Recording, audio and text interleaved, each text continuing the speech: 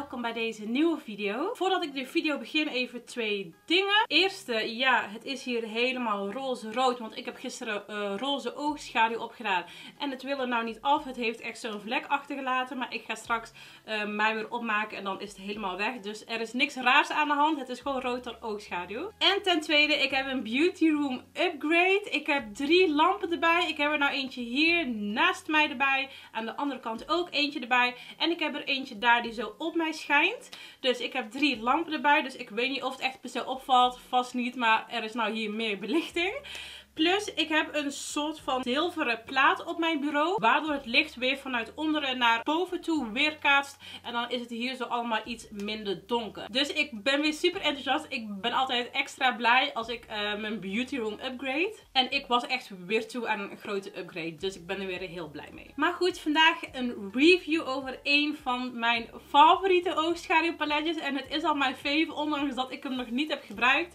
En dat is het Tati Beauty oogschaduw paletje. Voor de mensen die haar niet kennen. Tati is een beauty vlogger hier op YouTube. Ik volg haar al jaren. En het was ook door haar dat ik ben begonnen met mijn kanaal. Want ik werd geïnspireerd door haar. Ik zie haar echt als mijn YouTube moeder. Ik vind haar echt geweldig. En zij is mijn favorite YouTuber. zij kan echt stront uitbrengen. En dan koop ik het nog. Dus ik ben vandaag een beetje bevooroordeeld. I'm just gonna be honest. Als dit paletje niet goed gaat zijn, dan breekt echt mijn hart. Maar ik heb zo'n gevoel dat het echt een goed paletje gaat zijn. Want hij is er al een tijd. Hij was heel snel uitverkocht. Waardoor ik hem niet op tijd had. Maar toen na een tijd um, had ze hem weer aangevuld. En toen op 15 december werden alle oogschaduwpaletten weer verstuurd. Inclusief de mijne. Dus ik heb hem pas net binnen. Wel een beetje laat, maar goed. Tati is ook echt een persoon die echt nadenkt over wat ze doet. Ze denkt heel lang na. En ze wil alles echt super goed doen. Dus vandaar dat ik echt ervan uitga dat het paletje echt top gaat zijn. Hij is al wel een beetje vies door mijn handjes. maar goed, ik ga dus vandaag dit paletje laten zien. Ik ga swatches laten zien. Ik ga het aanbrengen, obvious. En ik ben echt super benieuwd. I cannot wait. Ik heb hem eergisteren binnen gehad. En ik kan echt niet wachten om hem te gebruiken. Dus we gaan gewoon snel beginnen. Vergeet niet alvast te liken en te abonneren. Oké mensen, dit is dan hoe je het paletje binnenkrijgt. Het is een hele zachte uh, materiaal. En haar naam is zo glanzend en zo hard. Het is een beetje zo'n 3D effect.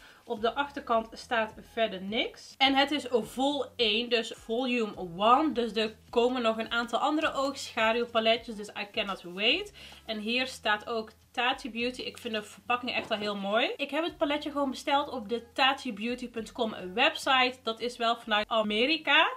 Dus ik heb een aantal extra bedragen moeten betalen. Oké, het paletje kostte mij ongeveer 44 euro. Verzending was 10 euro. Dus ik heb 54 euro betaald voor het paletje en de verzending. Maar omdat het vanuit Amerika binnenkwam, heb ik ook douane moeten betalen van 22 euro. Dus ik heb in totaal 77 euro moeten betalen voor een paletje die maar uh, eh, 44 euro was. Maar ik vind het wel waard. Dus mocht je dit paletje ook willen bestellen, weet wel, je gaat aan douane moeten betalen. Dus je moet het er wel voor over hebben. 77 euro, dan komen we een beetje bij de Huda Beauty prijzen. Maar ja, whatever. Als ik het betaal voor Huda Beauty, dan betaal ik het al helemaal voor Tati Beauty. Echt, ik ben er echt al gewoon van overtuigd dat de kwaliteit goed gaat zijn. En echt, mijn hart gaat echt breken als het niet zo is.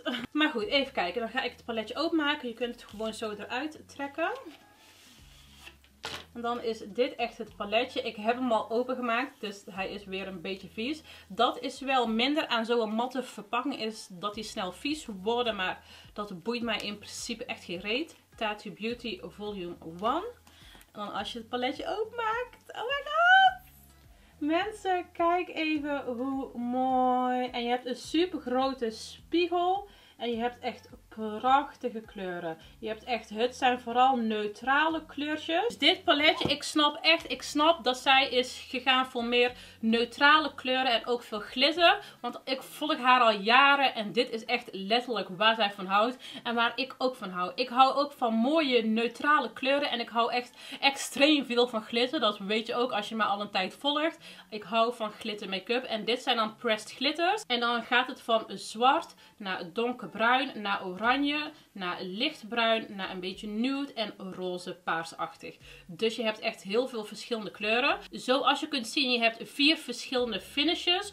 Onderaan zijn alle matte kleuren, dus ideaal voor in je crease en zo. Dan kom je hier bij de sequin kleuren. Dat zijn matte kleuren met een beetje glitter er doorheen. Dan kom je bij de metallic kleuren. Dat zijn gewoon hele glanzende kleuren. En dan kom je bij de glitter en dit zijn pressed glitters. Ik heb nog nooit een paletje gezien die zo is opgezet.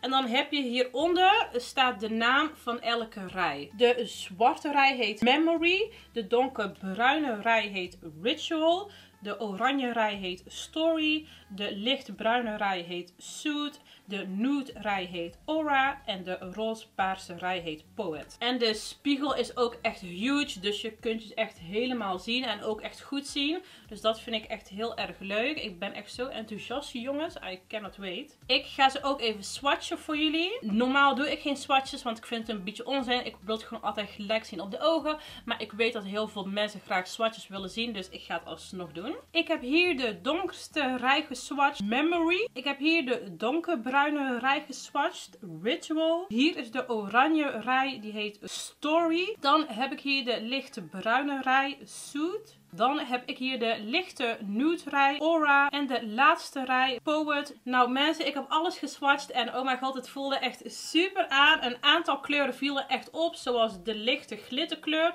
Omdat daar zo van die gekleurde glitters in zitten. De oranje sequin kleur was ook echt prachtig. Daar zaten ook hele mooie glitters doorheen. De zwarte kleur was echt super zwart. En vooral deze hele rij was super gepigmenteerd. Dus tot nu toe ben ik gewoon nog heel blij. Maar ik kan niet wachten om het ook echt aan te gaan brengen op mijn gezicht. Dus we gaan even inzoomen op mijn ogen. Oké, ik ga beginnen met de look. Het wordt een hele mooie nog wel draagbare look. Tati primet altijd haar ogen met de MAC Soft Ochre. Dus die ga ik ook gebruiken. En dan is ook gelijk die kleur bedekt. Ik begin met de hele lichte matte kleur. En die kleur breng ik aan over mijn hele ooglid. Dan ga ik in met de hele lichte bruine matte kleur. Dat is echt een perfecte transitiekleur. Die ga ik waarschijnlijk elke keer als ik dit paletje gebruik, gebruiken. Die breng ik aan zo in mijn hele arcadeboog. Oeh, pigmentatie jongens. ik had hem iets minder heftig verwacht. Maar goed, maakt niet uit. We are going to make it work. Dan ga ik gelijk in met de zwarte matte kleur. Ik had ook in een video gezien van een andere YouTuber dat zij zei dat deze zwarte kleur de meest heftige zwarte kleur was die zij ooit heeft gebruikt. Dus ik ben benieuwd. Die pak ik een beetje op mijn ronde kwast. En die ga ik dan zo indrukken hier in de hoeken. En ik druk het eerst in om het echt heel zwart te maken. En echt alleen maar hier in de hoeken. En ik ga een beetje zo rond, een beetje zo een half rondje. Dan pak ik die zwarte kleur ook met een hele kleine fluffy kwast. Maar ik pak echt maar een super klein beetje zwart. En dan ga ik een beetje de randen blenden. Heel rustig aan. En dan trek ik het ook een beetje zo naar binnen toe. Het is inderdaad echt super zwart. Ik ga niet helemaal naar binnen, gewoon tot ongeveer zo hier. Dan pak ik de donkerbruine matte kleur. Die pak ik ook weer met die kleine fluffy kwast. En daarmee ga ik ook de randen een beetje inblenden. En dan pak ik weer die lichte bruine matte kleur die ik ook had gebruikt in mijn arcadeboog. En daarmee maak ik de randen helemaal softer. Op camera is het iets minder zwart dan in het echt. In het echt is het echt zwarter. Door die lichten wordt het iets minder zwart of zo. Oké mensen, ik heb de lichten iets minder gedaan. Je kunt nou iets beter zien hoe zwart het echt is. Wat ik dan vaak ook nog doe, want door al het geblend wordt het zwart iets minder. Dan pak ik weer die ronde kwast en dan ga ik hier weer gewoon een beetje zwart indrukken. Dus zodat het daar wel echt super zwart blijft. Hier beneden zo. Toppie! Dan ga ik dit ook doen bij het andere oog. Oké, volgens mij zijn ze allebei soort van gelijk. Ik kan het nooit echt perfect allebei maken, maar dat maakt niet uit. Ik wil wel even laten zien. Ik heb 1, 2, 3... Ik heb nou vier matte kleuren gebruikt. En er is wel echt in het paletje fallout. Vooral bij de zwarte en de lichtbruine kleur. In principe, mij maakt er echt geen rol uit. Dat gebeurt vaker bij paletjes. Want als je echt een heel gepigmenteerd paletje wilt, dan wordt het af en toe gewoon een beetje poederig. En ja, dat is dus in dit paletje ook, zoals je vooral hier kunt zien. Maar mij maakt er echt niks uit, maar ik wil het toch laten zien voor de mensen die dat misschien wel graag zouden willen weten. Nou, alle matte kleuren blenden echt geweldig. Vooral de zwarte kleur is echt heel mooi. En de zwarte kleur blendt ook echt heel fijn. Vaak met zwarte kleuren is het een beetje tricky, maar goed. Ik ga proberen om echt alle vier de soorten finishes te gebruiken. Ik heb nou alleen maar de matte gebruikt. Ik denk dat ik sequin en glitter op mijn ooglid ga doen. En dan metallic in mijn binnenste ooghoeken en onder mijn wenkbrauw. Op die manier kan ik toch alles gebruiken. Ik maak mijn kwast weer nat met MAC Fix Plus. Ik ga voor de lichte kleuren. Ik ga voor de lichte sequin kleur. En die ga ik aanbrengen over mijn hele ooglid. Ik maak geen cut crease. Mijn kwast pakt echt super veel op. En deze breng ik dan zo aan, best wel hoog ook. Helemaal zo richting de zwarte kleur. Oh, er komt echt veel pigment vanaf. Van zo'n lichte kleur komt niet vaak heel veel pigment. Maar hier komt echt veel kleur vanaf, jongens. I like it. Dan blend ik het zo in, in die zwarte kleur. Wauw. Ook die kleur is weer heel poederig in het paletje zoals je kunt zien. Dit doet me een beetje denken aan de Anastasia paletjes. Die zijn ook altijd super gepigmenteerd, maar ook heel erg poederig. Ik ga ook even een beetje aanbrengen met mijn vinger. Gewoon om te kijken wat er gebeurt. Ja, met je vinger komt er helemaal veel pigment vanaf. Maar dat is echt altijd met glanzende oogschaduwen. Ik moet ook zeggen, nou ik het aanbreng met mijn vinger er zit dus een hele lichte glitter doorheen. Toen met mijn kwast viel die niet echt op. Toen het liep een beetje weg, als ik het zo kan beschrijven. Maar zo met mijn vinger blijft het gewoon echt goed op de plek. Love it. Dus als je het met je vinger kunt aanbrengen, zou ik het met je vinger aanbrengen. Dan pak ik wel weer een beetje van die zwarte matte kleur. Om het hier weer een beetje terug zwart te maken. En in te blenden met die lichte kleur. Ja, ik merk hier ook weer, als je die glitters erin wilt houden, dan moet je echt deppen en niet vegen. Want als je dat doet, dan gaan de glitters weg. Wat me ook opvalt en wat ik ook echt heel fijn vind, is dat de glitters hierin ook echt helemaal in de oogschaduw zitten. In sommige paletjes is die glitter een soort van laag op de oogschaduw. En dan als je die laag voorbij bent, dan geeft de oogschaduw ook gewoon geen glitter meer. Maar elke keer als ik weer in die glitter ga met mijn vinger, dan komt er weer opnieuw uh, glitter uit. Dus de glitter gaat echt helemaal tot onderin. En dat vind ik echt geweldig. Want als je een glitter ziet, je wilt niet worden bedrogen door een soort van laag. Dus ja, dat vind ik wel heel fijn en ook heel handig om te weten. Ja, ik vind het zo echt heel erg leuk. Nou ga ik aan de slag met de glitters. Ik pak ook weer van die rij Aura de Pressed Glitter. Deze was echt ook zo mooi op de swatch. Je hoeft ook echt maar een heel klein beetje te pakken om echt veel aan te brengen. Dus dat is wel fijn. En dit ga ik dan gewoon zo indrukken op die lichte kleur eronder. Het is dus een pressed glitter, dus je hoeft geen lijm of zo te gebruiken. Je kunt het gewoon gelijk zo aanbrengen. Wauw. En ik breng het gewoon zo een beetje wild aan. Ik zou de pressed glitters ook echt aanbrengen met je vinger. Niet met een kwast. Oh, nou is er een beetje hieronder gekomen, maar dat komt door mezelf. Ik vind het echt een prachtige glitter, jongens. Kijk dit. Het blijft ook echt goed plakken. Ik voel het gewoon hier op mijn vinger. Doordat ik acryl heb, kom ik niet echt heel goed zo hier in de hoek. Dus ik ga even met een kwastje proberen aan te brengen. Ik heb een klein beetje gepakt met een kwastje. Ja, dat werkt ook echt prima zo. Ik kom echt nooit in de hoeken, dus ik moet dat altijd wel doen met een soort van kwastje. Wauw, geweldig. Dit hieronder komt echt letterlijk door mij. Omdat ik allemaal zo deed en toen daaronder kwam. Dus dat ligt niet aan de oogschaduw. Vinden we dit prachtig of vinden we dit prachtig jongens? Doordat ik de zwarte kleur ook zo hoog heb gedaan, lijken mijn ogen nou ook wat groter. Want ik heb best wel kleine ogen, dus ik wil altijd dat ze een beetje groter lijken. Even kijken. Ik ga even mijn gezicht afmaken. Ik kom zo bij jullie terug. Oké, I'm back. Ik heb heel even snel mijn gezicht gedaan. Ik ga nou verder met de ogen. Even denken wat ik ga doen. Ik ga denk ik een nude oogpotloodje doen in mijn waterlijn. Ik heb hier van Rimmel London hun nude oogpotloodje. Dit is echt de beste ever in de kleur 5 nude. Breng ik die even snel aan in mijn hele onderste waterlijn. Een nude kleur in je waterlijn maakt echt gelijk alles open. Gewoon wakker. I love it. Dan, normaal zou ik dan gewoon nou een van die bruine zwarte kleuren ook aanbrengen op mijn onderste wimperrand. Maar dat ga ik niet doen.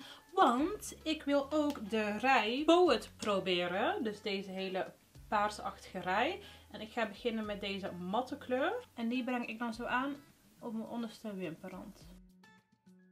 Wel echt super gepigmenteerd. Toen met het swatchen had ik het al door. Deze rij is echt pigmentatie for life. Dan pak ik ook nog een heel klein beetje van die zwarte matte kleur. En die breng ik ook aan zo heel dicht bij mijn wimperrand. Om het toch nog hier iets donkerder te maken. En dan een beetje inblenden met die andere kleur.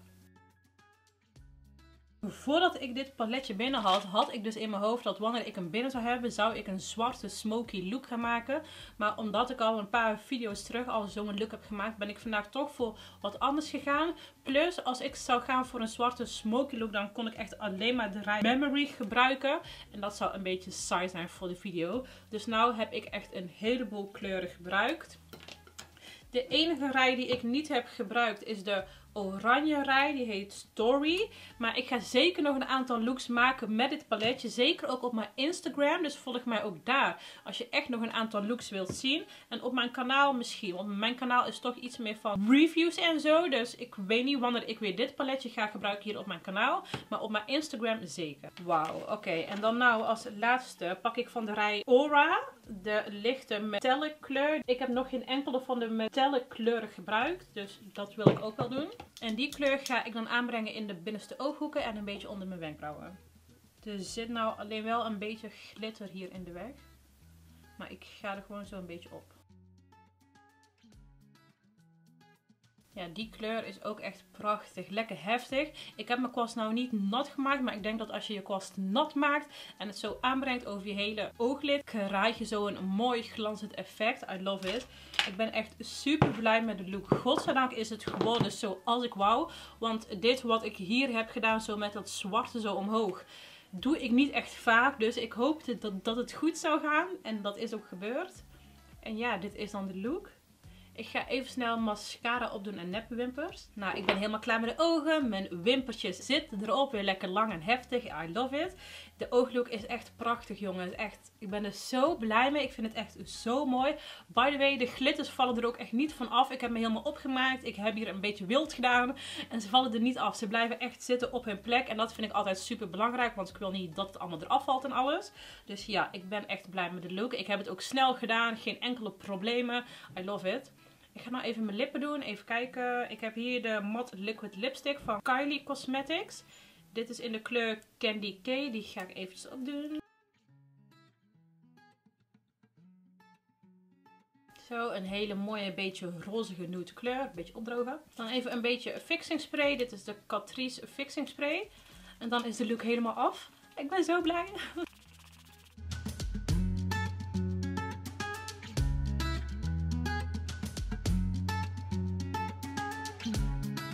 Nou mensen, ik was al een beetje bevooroordeeld. En ik had al een heleboel video's gezien over dit paletje. En iedereen was er zo positief over en zo. En ook ik ben er godzijdank blij mee. Ik vind het echt een goed paletje. Even opmaken.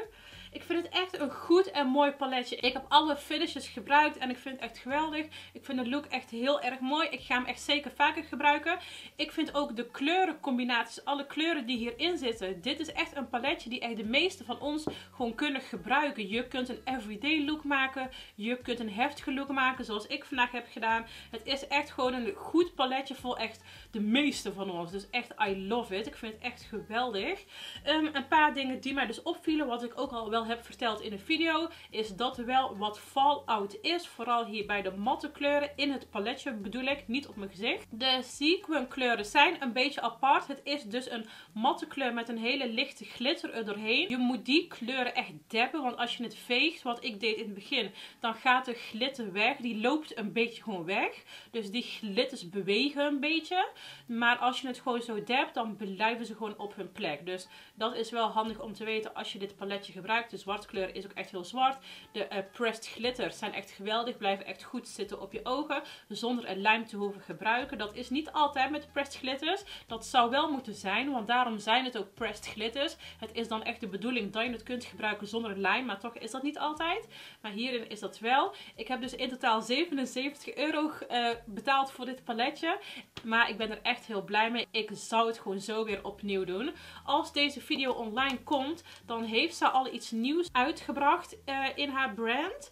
Um, ik weet nu nog niet wat het is, maar wanneer deze video online is, uh, is het er al. En dan heb ik het ook al besteld. Dus ja, ik weet dus nog niet wat het is, maar ik weet al dat ik het ga bestellen. Ik vind het echt een mooi paletje. Ik ben er echt heel blij mee. Ik kan hier echt heel veel mee. Dus ja, I love it. Echt heel erg mooi. Is er nou nog een andere collectie of een paletje of zo die jij graag wilt zien hier op mijn kanaal? Let me know beneden in de comments, want ik hoor graag wat jullie zouden willen zien. Want er is zoveel make-up dat ik soms niet weet wat ik dan moet laten zien en wat niet. Nou, vond je de video leuk? Vergeet niet te liken en te abonneren. Ik plaats hier twee video's die je ook kunt gaan bekijken. En mijn gezicht om te abonneren. En dan hoop ik iedereen weer snel terug te zien bij de volgende video. Doeg!